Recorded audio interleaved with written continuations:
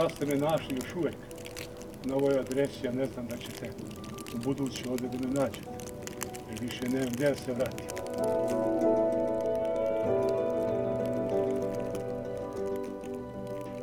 To se dogodilo u 3 sata ujutru, kad svi spavamo.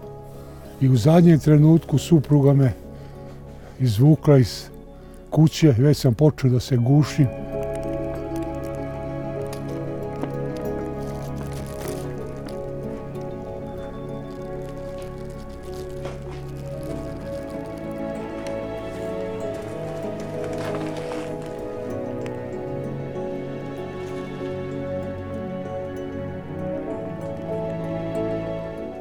Zato sve što sam pisao, što smo pisali, za sve posleduje materijalne dokaze imamo.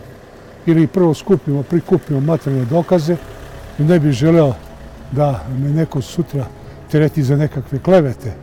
To mi ne treba i znam šta znači čoveka nevinog optužiti.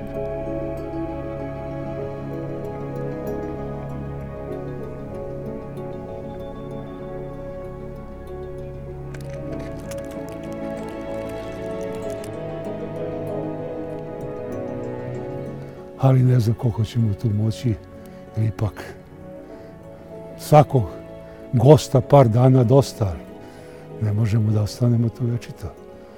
Pa, ili ćemo ost- postati beskućnici po stare dane, ne znam.